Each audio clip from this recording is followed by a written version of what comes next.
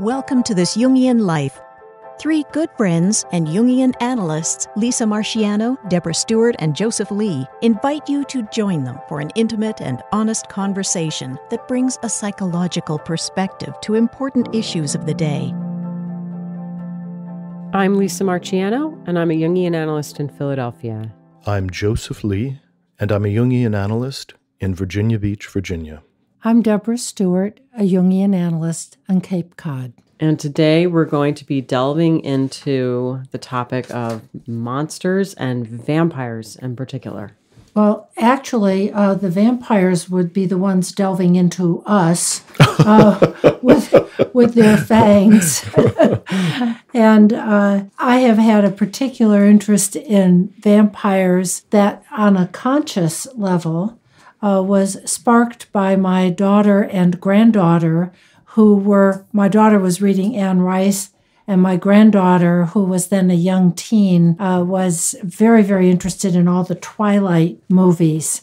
And uh, I got curious about what on earth it was about vampires that was so interesting to them. And it was easy enough to go and see the, the Twilight movies. And um, then I, I was bitten by these uh, figures who had their eternal life. A vampire will live forever unless specifically killed in, in some specified ways, staked through the heart, and various other things. Uh, and I was also wildly curious about what it was in popular culture that was making vampires all of a sudden. Uh, it seemed as if they were everywhere. So I think about uh, here it is uh, vampires live on blood, and we all know that. That's the only thing they can have as sustenance. And that blood historically has been the life force, it's been a symbol for that. So they live forever, but they are also called the undead. Uh, so it's a strange kind of life. And of course, the Ur vampire is our friend Dracula, who is a century and a quarter approximately old. Dracula, as the vampire, was created and brought into popular culture, although the myth goes into earlier times.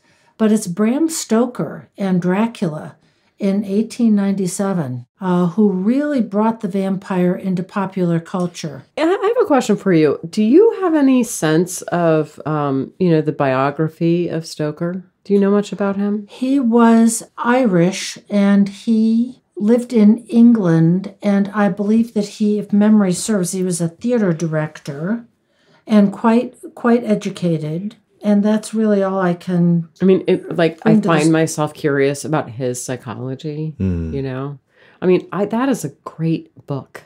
I love that book. And interestingly, in the original Dracula, there really is no character of Dracula. This is a novel that is composed of letters and communication by all the other characters in the novel. But you never hear from Dracula. And Dracula is off stage and we see what happens to his it's victims. almost like we see we see him reflected. We see him reflected. He is a people. shadowy, shape-shifting creature character that the other characters are in in quest of. They are hunting him. Mm-hmm. As he hunts his victims, they hunt him. Mm-hmm. So how do we um, how do we make sense of this powerful imaginal figure uh, in terms of the personal psychology? What do we do with that? Of in other words, where is the inner vampire? Mm-hmm. Uh, what does that represent? Well, what and why is it so fascinating to so many? Because mm-hmm. I mean, I love vampires too. But I think well, part of the loving of the vampires, yeah. I think, is the changing, the the evolution of the image of the vampire. Absolutely. I think back when I was a kid, I had caught um, somehow they were showing clips of that first early vampire Nosferatu. movie, Nosferatu, mm-hmm. where the vampire was grotesque and terrifying and repugnant. It was frightening. Well, now we're evolved to these, you know, sexy, pristine, oh, godlike, oh, enviable, yeah. yes. you know, vampire figures. That's an enormous shift in the And so what we're talking collective. about really is sort of the evolution of the archetype. Exactly. You're exactly right. If Nosferatu uh, and in Bram Stoker's Dracula, there is nothing attractive about this creature. They are hunting him. He is evil, and it's uh, very plain and one sided, as we might say, as Jungians.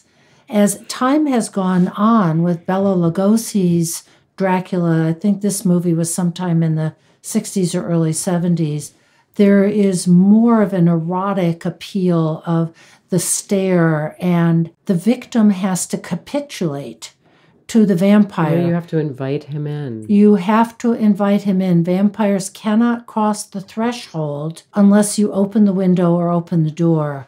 So there is this dark attraction of in the victim for the vampire. Mm-hmm. Now today, or along around uh, turn of the century into the 21st century, we have series like True Blood, uh, the Anne Rice novels, uh, Buffy the Vampire Slayer, and others where the vampires are much more humanized.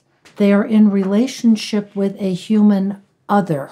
You know what I think is really interesting about that is that I, I, also I love the the movie Bram Stoker's Dracula that came out in the nineties by yes. Francis Ford Coppola. Okay, thank you, and I love that movie. And Gary Oldman is just so fabulous in that as as Dracula.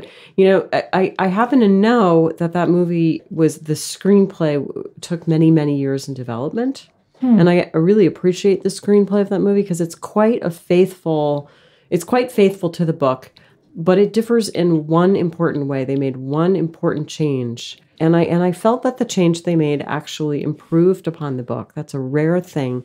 And what they did was they humanized Dracula. Yes. By including this story in the beginning about his wife, Elisabetta, who throws herself off the castle when she thinks he's dead.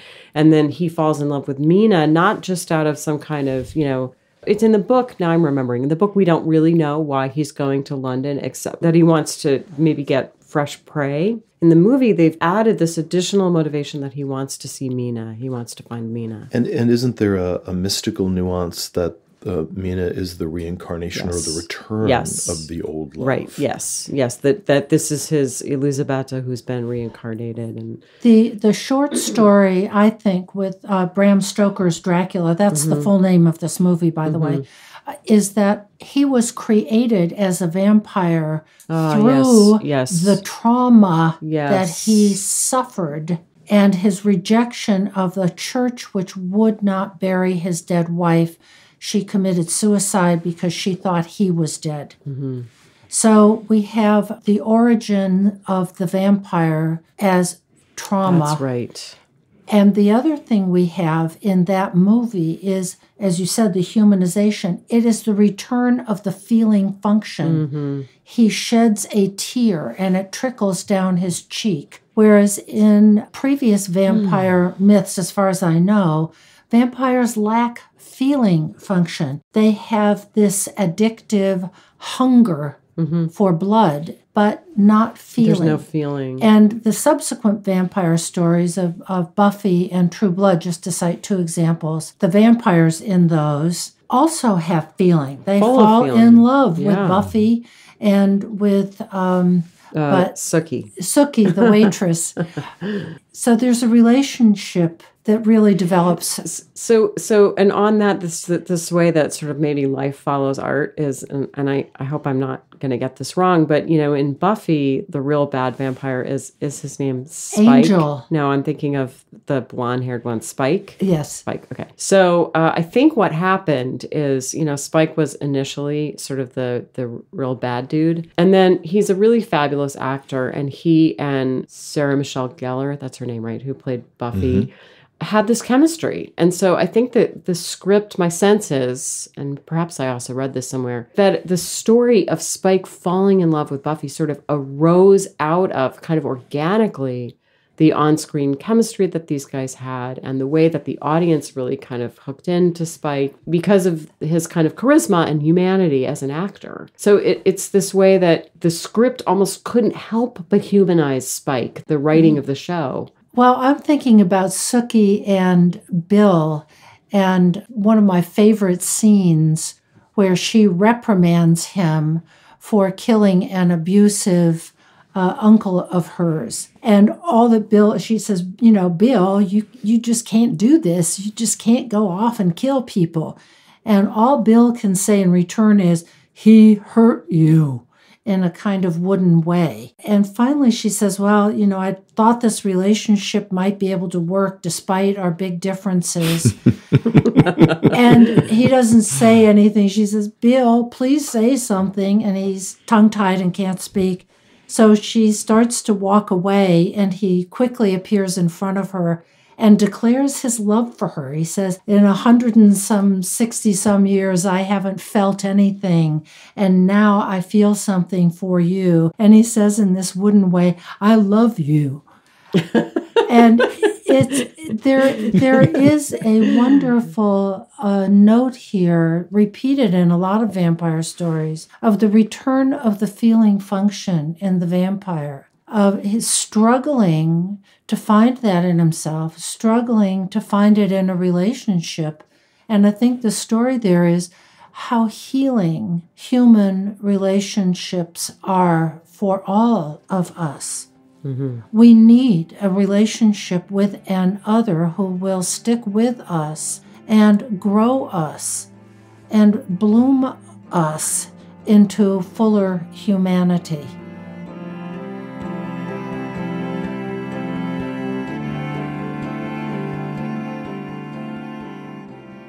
I'm, just wanting to kind of play around with this image because it seems to me like it's always a male vampire and a human female. And I wonder about, first of all, are, are we sort of imagining these vampires as kind of an animus figure? And what would that say? Or we are are we imagining that, you know, Sookie and Buffy are anima figures and, and what does that mean? Or do we feel that this tendency kind of reflects a kind of societal expectation that men will uh, not be in touch with their feelings and be sort of vampire like. A little bit of classic stereotyping. Yeah, exactly. I think that that is there, and you're right. Today it is uh, the males who, by the way, are always very attractive, compelling actors, uh, that they do have a certain kind of sex appeal. And there is this kind of stereotypical typecasting mm. that it, it's the woman who can stick with them and help them learn to love. On the other hand, these women are feisty, strong, powerful women. Buffy is the vampire slayer, uh, and Sookie is also a very strong woman. Should they insist on these male vampires meeting their standard for a relationship? I'm moving around this kind of archetypal pattern of this man that becomes so massively traumatized that it transforms him, it warps him into a parasitic creature who then visits this wound upon other people, turning them mm-hmm. into parasitic creatures, and does this through a kind of hypnotic domination of other people. I'm sitting with that and trying to think about some of the other human applications that that might apply to in terms of perhaps intergenerational trauma, perhaps the way that a traumatized parent communicates coping mechanisms to the child so that we can see trauma behavior or trauma adaptations in children which is very confusing to them because they have no memory of actually being traumatized. It feels very deep and very mysterious in a certain way, kind of landing it. And I wonder if the focus or the fascination with vampires being represented in the culture is because there is a certain cultural spirit that wants us to become aware of this phenomena. Mm-hmm. And that's an interesting idea, I think, in Jungian mm-hmm. thought that the culture has its own kind of independent spirit, has its own kind of intelligence. Well, or you could say sort of the collective unconscious is sort of mm. m- manifesting this as an image that needs to be attended to somehow.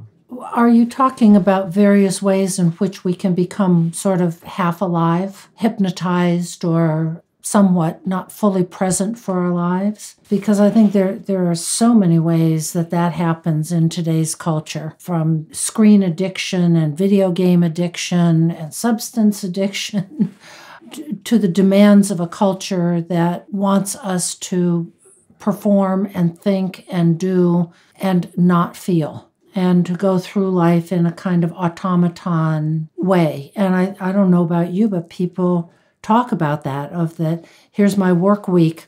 I have to get up at six. I go to work. I'm in a cubicle all day. Then i come home and then the next day i do it all over again.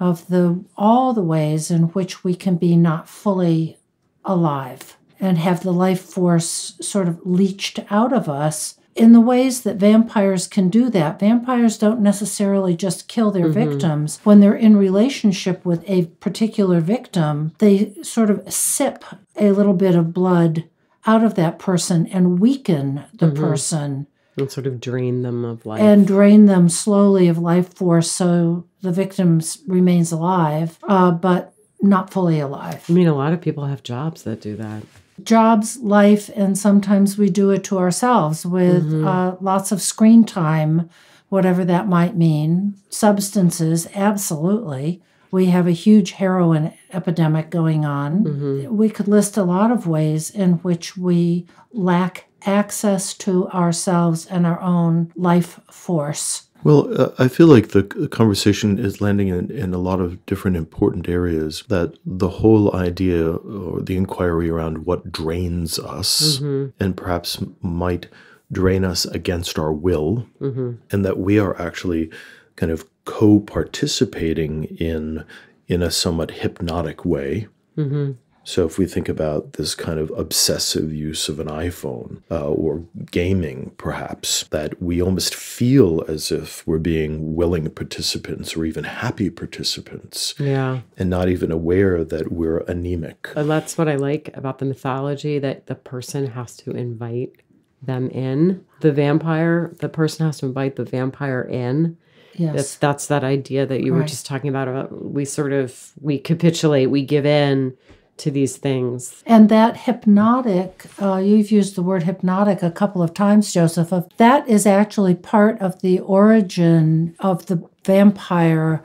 I believe in, in Bram Stoker with the uh, neuroscientists uh, Jean Martin Charcot and Pierre Janet in France, with women who were today we would di- diagnose them. That I use that word in quotes very differently, but they were very interested in hypnosis and altered states of consciousness. And it was very disturbing to the populace at the time. People were curious, fascinated, and alarmed because all of a sudden humanity was being seen very differently.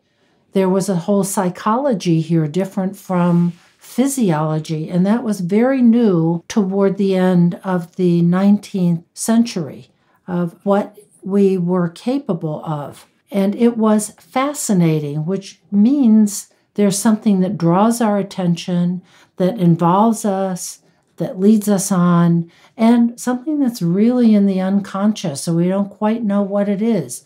And that's exactly what happens with a vampire is there's something hypnotic, something fascinating and kind of unconscious where we go willingly into an altered state. Hmm. So, you know, what really interesting. You know, it seems to me some of the vampire series are saying first of all, there needs to be an enlivened relationship. And secondly, how valuable real consciousness, awakeness to ourselves and in our lives is because that that's really the thing that allows for transformation yes i'm sitting with as i'm listening this um, wanting to land this a little bit more say in a, in a clinical setting or in a, a kind of human lived out way. And I'm thinking the way vampires are often viewed as some kind of a hybrid between a human and an animal. And that what's shocking about them is that you have a human being who is somehow suddenly behaving in an animalistic way. That this this man that's suddenly become a vampire is is behaving like a vampire bat, living off of this blood of another person. And that so much of human morality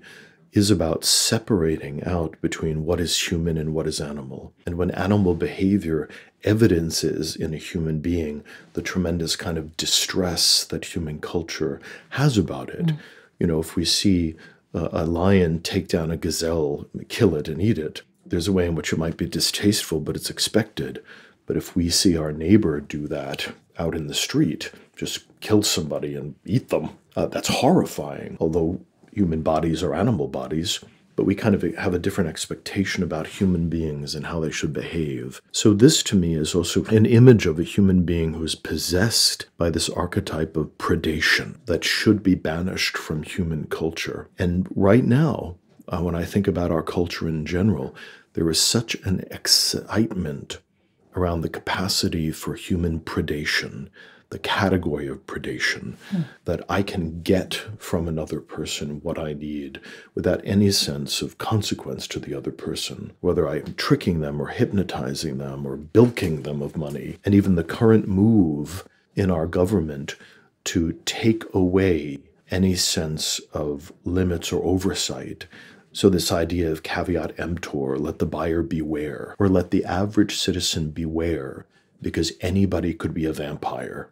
And it's up to you to deal with how you're going to handle vampires. Everybody should be armed because anyone could be a predator. So, this idea of this infection of the predator and how that's being spread is a place that I'm kind of going to as I'm looking mm. at landing it well, and of course, you know, I, I mean, I, I don't think that I'm the first person to think. I mean, I, I think if, if we try to think about vampires diagnostically, yeah, you know, you, you kind of think, oh, well, that's you know, sociopathy, right? That's a that's a personality disorder. There, someone who mm. who has no regard for the feelings of others and just is going to sort of get whatever they can.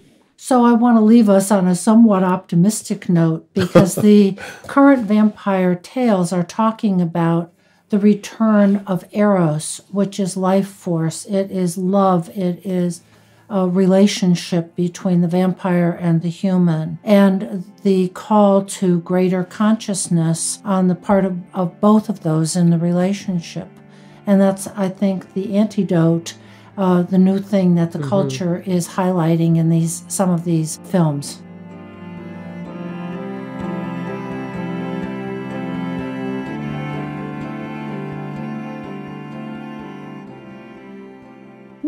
Dream do you have for us? Okay, well, we will move into that right now. This is the dream of a woman uh, who is in her 60s, and she says, This is a repeating dream. I am still at school, but have reached well into middle age. I am unwilling to stay there, unwilling to study or sit for any exams, as I have already qualified as a nurse. I wish to go and secure a job. So, the first thing that I've noted is that it's a repeating dream, mm. which often indicates something that Psyche uh, really wants us to know. Uh, so, message hasn't been received, so it gets redelivered and redelivered, really almost asking, please pay attention, please bring me into consciousness. Something important is going on, and I want your conscious attention. Yeah, I mean, when someone brings a repeating dream in, especially, you know, it's like, well, I had this last month and here it is again. You know, there's a little bit of an assumption of like, we didn't get it last time. We must not have fully understood it. Otherwise, it wouldn't be coming back again. And then the next thing that happens here is I'm still at school but have reached well into middle age, which seems to indicate, well, well why are you still at school? This seems uh, middle age and still in school don't go together. Middle age indicates a time of ripening uh, in one's life or career rather than still being at school. I noticed that the dream says, um, I'm in school, I'm supposed to be studying, and yet I've already qualified. So yes. there's some kind of uh, internal contradiction in the dream where she both needs to study and take exams, and yet she's already done that. Or at least the dream ego feels that she's qualified. Yes. Yeah. So if we remember that the waking mind of the dreamer is always, almost always, being challenged to reconceive itself mm. by some deeper wisdom in the unconscious.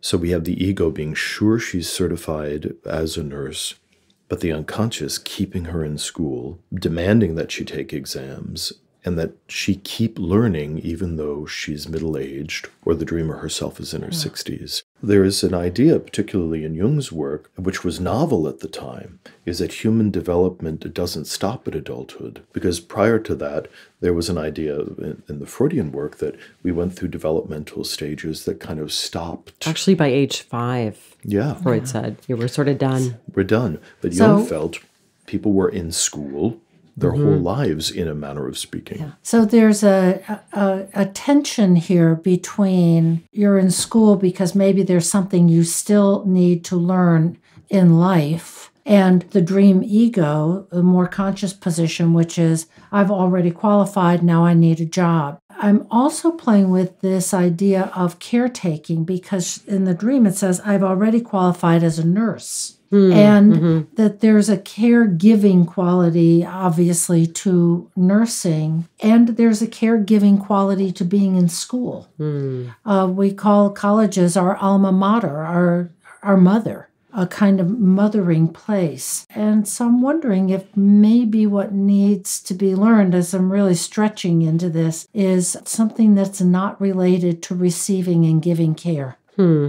That's really interesting. So that if the dreamer were here, we might ask them if they had any sense of what were the subject matters that were being taught I'm, in this inner mm-hmm. school. I'm also noticing in a really interesting way that there's sort of a parallel between the situation in the dream and what is true about the dream and the dreamer's life. In other words, if the dream is school, the dream keeps coming back. You know, it's like she's still in school.